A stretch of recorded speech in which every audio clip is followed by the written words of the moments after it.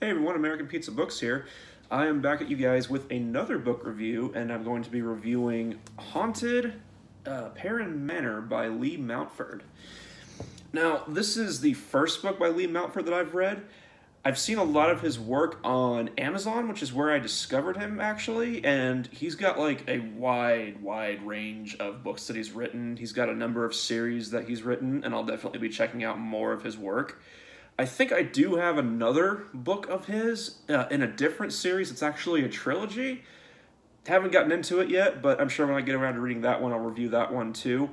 As of as I'm reviewing this, I have actually read the sequel to this book, which actually serves as a prequel uh, before the events of this book, and it gives you the backstory, or kind of the backstory on Perron Manor, the actual like house and the title of this one and it gives you kind of like the rundown of what happened in the house, uh, which is discussed in this book. So it starts out with uh, there's two sisters, Sarah and Chloe, and Chloe with her husband and their daughter, who I believe is like uh, is like six months old, a year old, and they've inherited this house from their uncle, and it's like this big mansion and whatnot and it comes like just in time because Chloe and Andrew are kind of having, if I remember correctly, they're having like financial struggles, and then Sarah has been has come out of the military and doesn't really have like a, a, a clear like plan or future or anything. So she they offer her to come and live with them, and she kind of takes them up on that offer. And they live in the, and they all move into this mansion and at first everything's kind of okay, but then they kind of start to notice some weird things going on, and here and there there's like a baby monitor, and there's sounds and whatnot, and so on and so forth. And that's kind of the plot, but as you go along, of course, you find out more about the manor. They start to investigate a little bit. Some weird, like I said, some weird stuff starts to happen, and so on and so forth. Kind of, the, kind of the typical haunted house stuff, um, up until the very end, at least. Now, as far as what I thought about this book, I would describe it, for the most part, as being kind of basic. Not bad by any by any means, but kind of basic because, like I said, they you know family moves into the house. It's got a crazy backstory, very violent backstory, and of course things start to happen. Some things very stereotypical because they got a baby and so of course they got the baby monitor and they start seeing things and hearing things on the baby monitor and so on and so forth.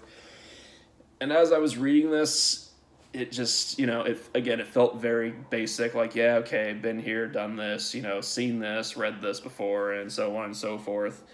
It's not a bad formula. It's an entertaining formula. And again i didn't think it was bad by any means but in terms of like the pacing and the things that happen and so on and so forth, it just felt very, very, very like cliched and whatnot. The characters, while not like one dimensional or cardboard cutouts by any means necessary, I didn't feel super connected to them. I felt that the dynamic between the characters, like the family dynamic and the relationships, felt a little bit forced. I didn't really get the sense that you know, it was more. I don't want to say it was more telling and not showing, but kinda. Um, the characters, like the individual characters themselves, didn't feel one dimensional. Like in term, like I said, the family dynamics felt a little forced. The characters themselves, um, not one dimensional, but not the deepest characters ever. I felt like the character with the most depth and development was probably Sarah because she has this event that happened in the military with one of her friends and it kind of affects her and how she acts and how she feels about herself and I think the house kind of takes advantage of that and her vulnerable state of mind because of that, which is kind of interesting. Chloe was I didn't really get a ton of depth from her. Um, you know, she felt kind of like the stereotypical sort of parent that kind of did the, for these types of stories and whatnot. Kind of the same thing with Andrew. Sarah, though, a little more depth, a little more nuance with her, and kind of more interesting things happening with her. There's a paranormal investigator who like wrote a book on the house, we see him a few times in the book. He seems like a really interesting character, and I think that we're going to get like a lot more of him later on in the books. And it's kind of hinted that he's going to be a more main character in the books going forward, which I which I'm really excited about. But I don't know the characters again, not cardboard cutouts by any means, not bad characters, but just not that deep either. Though I'm sure that will probably change as the series goes on because I do believe there are like six books in this series uh, like I said, the pacing is it's it's good for the most part. Like there's no like really really slow points in this book, really. Like, but again, it just felt kind of like par for the course with with with these types of haunted house books. Um, the writing is fine; it does its job for this genre and whatnot again, like I've said before in these videos, I'm not super, super, super like, you know, I'm not an aficionado. I'm not like a literary aficionado when it comes to stuff like that. I'm not like one of your, you know, university English professors. You know, I'm not going to criticize it for not being, you know, uh, Heming, you know, uh, Hemingway or, or, you know, Dickens or anything like that. As long as the writing transports you into the story and serves as a good window medium into the story, then it's fine by me, and I think it's doing its job, and I felt that that was the case here. So the writing is good. I mean, a little bit basic at times, but I mean, for the most part, it's, it's fine.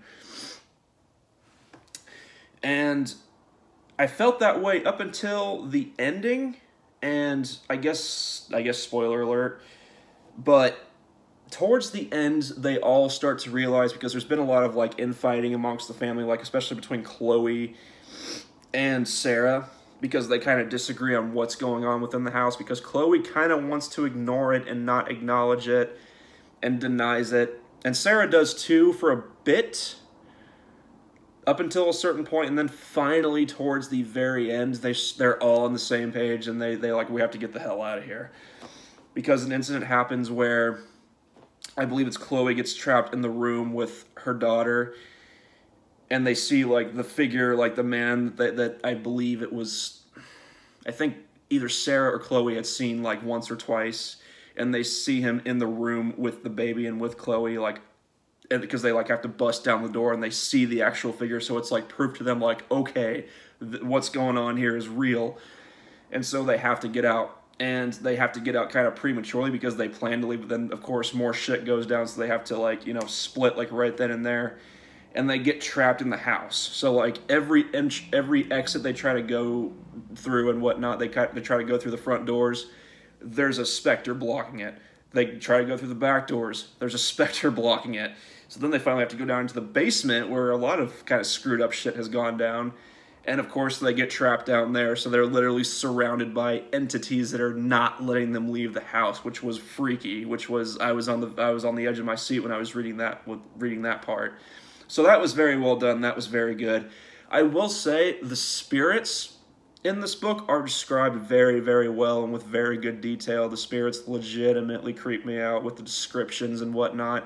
Same thing with the with the sequel.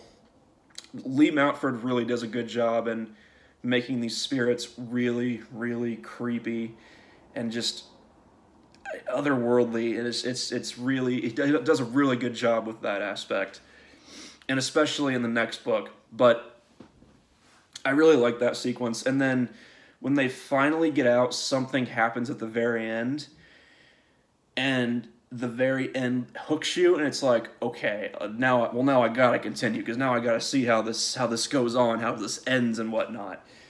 So Mountford does a good job with hooking you at the very end. Um, at the beginning, it starts out kind of, you know, Uh, it's not a bad beginning, but it's an okay beginning. It is what it is, but the very end definitely hooks you. I will say, like I said, I have read the second book as I'm reviewing this one. And I can tell you right now, the second book is actually very, very good. It is, to me, it's like, it's way above this one.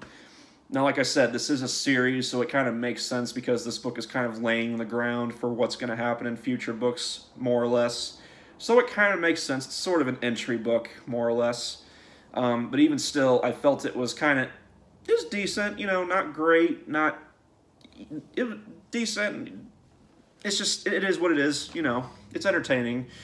So I would say read this one. Maybe start with the second book because, like I said, Haunted Devil's Door, which is the second one, it serves as like a prequel to this one. So I'd say maybe read that one first, then read this one because even though this is the first book, if you read the second one, the, the things in this one will probably make more sense. I kind of wish I had read the second book, like in retrospect, before reading this one. And you also find something out about Sarah in the second book that's completely fucked. Um, but yeah, no, so I would recommend this series if you like kind of the supernatural haunted house type of thing. I think you would enjoy this. If you don't mind kind of the stereotypical formula and some of the cliches with the haunted house genre, then you you won't you won't mind the ones and then this one either. And I'll definitely be continuing with the series. I've read the first two books. Uh, the next one is Haunted Purgatory, I believe, which picks up after this one. So again, I know I've said it several times, but just to be clear, uh, Haunted Manor is the first book. The second book is the prequel to this one, and then the third book actually continues the events after this one. So, but I'd recommend it. Let me know what you guys think. What did you think of Haunted Perron Manor? What do you think of the series? Uh, have you read anything else by Lee Mountford? I know he's got a very, very wide catalog of works and whatnot. He's written a bunch of different stuff, so definitely let me know if you've read any more of his works. And that's pretty much it for this one. And I'll be back later. So, peace and keep on reading.